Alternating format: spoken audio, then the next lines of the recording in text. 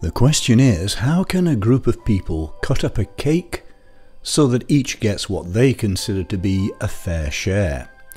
In its modern mathematical form, this classic problem of fair division dates from the Second World War, when the Polish mathematician Hugo Steinhaus tackled it using a game theory approach. Any number of players are allowed.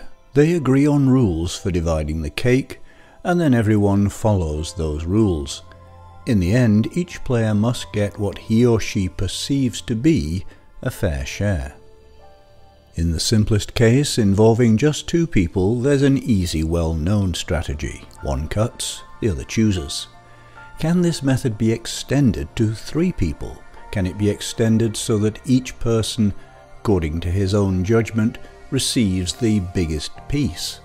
Steinhaus was able to prove that a so-called envy-free division where everyone believes they got the best deal exists in every case for any number of players. However, it was left for others to find actual algorithms that worked for three or more players. A three-person envy-free method was first devised by John Selfridge and John Conway. Suppose the players are called Alice, Bob and Carol. The method goes like this. 1. Alice cuts the cake into what she thinks are thirds. 2. Bob trims one piece to create a two-way tie for largest and sets the trimmings aside.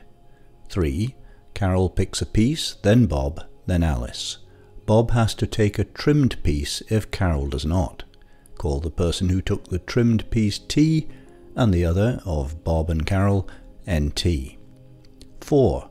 To deal with the trimmings, NT cuts them into what she thinks are thirds. 5. The players pick pieces in the order T, Alice, NT.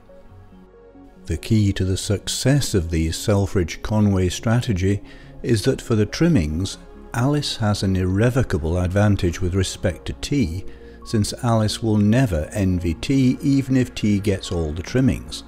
So Alice can pick after T and allow the method to end in a finite number of steps.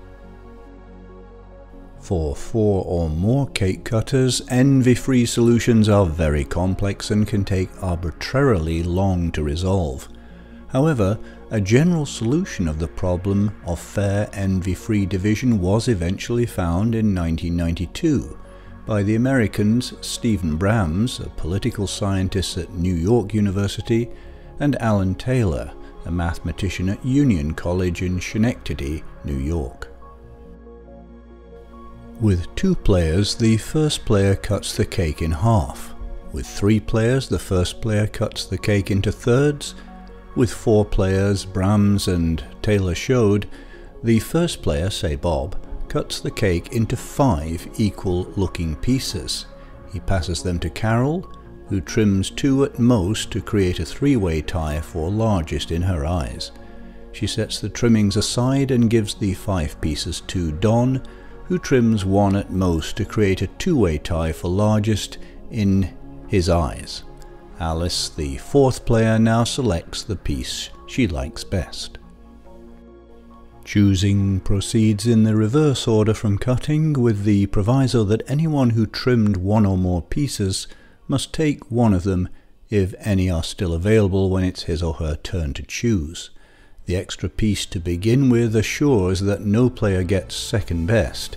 If someone takes a piece she likes before it's her turn to choose, an equivalent piece or better always remains on the table.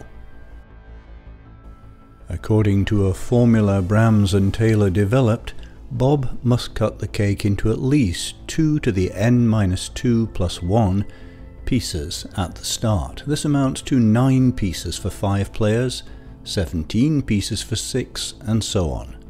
Bob has to cut all these extra pieces to make sure that when he finally gets to choose at the end, there'll be a piece left that hasn't been either trimmed or chosen by one of the many other players. With 22 players, Bob has to divide the cake into over a million pieces. Small crumbs of comfort in the quest for a fairer world.